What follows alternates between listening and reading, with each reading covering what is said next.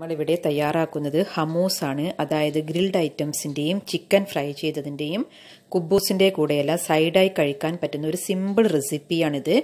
വെള്ളക്കടല ഉണ്ടെങ്കിൽ നമുക്കിത് എളുപ്പം വീട്ടിൽ ഉണ്ടാക്കിയെടുക്കാം. അതിനുവേണ്ടി ആദ്യം തന്നെ ഒരു തഹിനി പേസ്റ്റ് തയ്യാറാക്കണം. അതിനുവേണ്ടി അരക്കപ്പ് വെളുത്ത എള്ളാണ് ഞാനിവിടെ എടുത്തിരിക്കുന്നത്. ഒരു പാൻ അടുപ്പിൽ വെച്ച് ചൂടായതിനു ശേഷം അതിനകത്തേക്ക് ഈ എള്ള് ചേർത്ത് കൊടുക്കുക.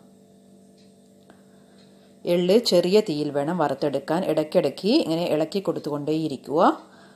എള്ളിന്റെ നിറമെല്ലാം ചെറുതായി മാറി തുടങ്ങുന്ന സമയത്ത് അതിന് നല്ലൊരു മണമൊക്കെ വരും. ആ സമയത്ത് ഫ്ലെയിം ഓഫ് ചെയ്യുക. ഫ്ലെയിം ഓഫ് ചെയ്തതിന് ശേഷം ഇത് തണുക്കാനായി നമുക്ക് മാറ്റിവെക്കാം ഇപ്പോൾ ഇതിന്റെ ചൂടെല്ലാം ആറിയിട്ടുണ്ട്. ഇനി ഇത് നമുക്ക് ഒരു മിക്സിയുടെ ജാറിലേക്ക് ചേർത്ത് നന്നായി ഇതൊന്ന് ഗ്രൈൻഡ് ചെയ്തെടുക്കാം.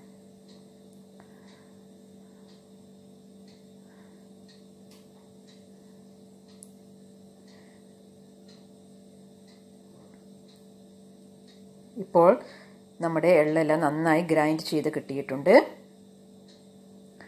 ഈ തഹിനി പേസ്റ്റ് ഉണ്ടാക്കുമ്പോൾ കുറച്ച് അളവ് കൂടുതൽ എള്ള് ഉപയോഗിച്ച് ഉണ്ടാക്കിയെടുക്കുകയാണെങ്കിൽ നിങ്ങൾക്ക് ഇത് ഫ്രിഡ്ജിൽ സ്റ്റോർ ചെയ്ത് പിന്നെയും ഹമൂസ് ഉണ്ടാക്കുമ്പോൾ ചേർക്കാവുന്നതാണ്. അതിനുവേണ്ടി ഞാനിവിടെ കുറച്ച് അളവ് കൂടുതലെടുത്താണ് തഹിനി ഉണ്ടാക്കിയിരിക്കുന്നത്. ഇനി ഈ എള്ളിന്റെ പൊടിയിലേക്ക് കാൽ ടീസ്പൂൺ ഉപ്പും മൂന്ന് ടേബിൾ സ്പൂൺ ഒലിവ് ഓയിലും ചേർത്തിട്ടുണ്ട്.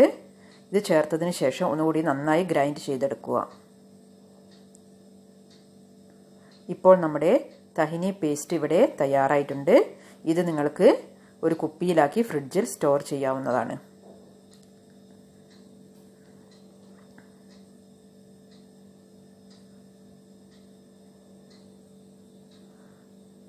ഇനി നമുക്ക് ഹമോസ് ഉണ്ടാക്കിയെടുക്കാം.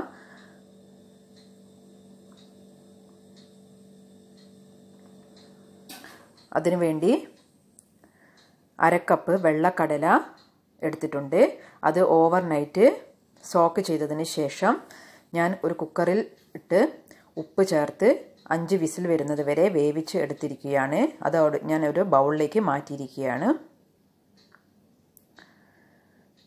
ഇനി മിക്സിയുടെ ഒരു വലിയ ജാർ എടുത്ത് അതിനകത്തേക്ക് ഒരു മൂന്ന് അല്ലി വെളുത്തുള്ളി ചെറുതാക്കി മുറിച്ച് ചേർത്തിരിക്കുകയാണ്. മൂന്ന് വലിയ അല്ലി വെളുത്തുള്ളിയാണ് ഞാൻ എടുത്തിരിക്കുന്നത്. ഇതിനകത്തേക്ക് മൂന്ന് ടേബിൾ സ്പൂൺ തഹിനി പേസ്റ്റ് ചേർത്ത് കൊടുക്കുക.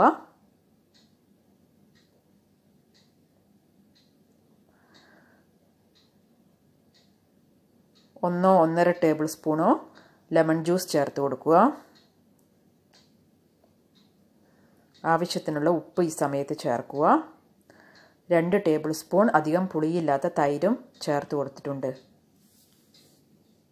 ഇത് നന്നായി ഒന്ന് ഗ്രൈൻഡ് ചെയ്തെടുക്കുക. ഇപ്പോൾ ഇത് ഞാൻ ഗ്രൈൻഡ് ചെയ്തെടുത്തിട്ടുണ്ട്. ഇതിനകത്തേക്ക് നമ്മൾ നേരത്തെ മാറ്റി വെച്ചിരിക്കുന്ന ബോയിൽ ചെയ്ത വെള്ളക്കടല ചേർത്ത് കൊടുക്കുക.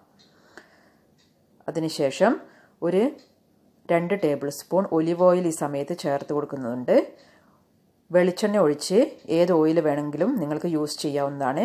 പക്ഷേ ഹമൂസിന്റെ ആ പെർഫെക്റ്റ് രുചി കിട്ടണമെങ്കിൽ നമ്മൾ ഒലിവ് ഓയിൽ തന്നെ യൂസ് ചെയ്യുന്നതാണ് നല്ലത്. ഇനി ഈ സമയത്ത് ഒന്ന് അരച്ചതിന് ശേഷം ഇതിലേക്ക് നമ്മൾ കടല വേവിച്ച വെള്ളം ബാക്കിയുണ്ടെങ്കിൽ അത് അല്ലെങ്കിൽ കുറച്ച് തണുത്ത വെള്ളം ചേർത്തിത് നല്ല സോഫ്റ്റായി അരച്ചെടുക്കുക. ഇപ്പോൾ കടല ഞാൻ നന്നായി അരച്ചെടുത്തിട്ടുണ്ട്.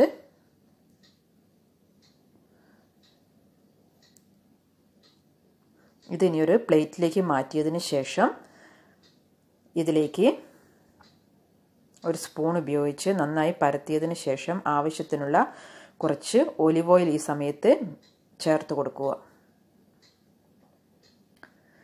ഇതിങ്ങനെ തയ്യാറാക്കിയതിന് ശേഷം ഒരു അരമണിക്കൂർ ഫ്രിഡ്ജിൽ സൂക്ഷിച്ചതിന് ശേഷം കഴിക്കുകയാണെങ്കിൽ നമ്മൾക്ക് കടയിൽ നിന്നെല്ലാം വാങ്ങിയ അതേ ടേസ്റ്റാണ് ഈ ഹമൂസിന് നമ്മൾക്ക് കിട്ടുക. അതുകൊണ്ട് എല്ലാവരും ഇതൊന്ന് വീട്ടിൽ ട്രൈ ചെയ്ത് നോക്കുക.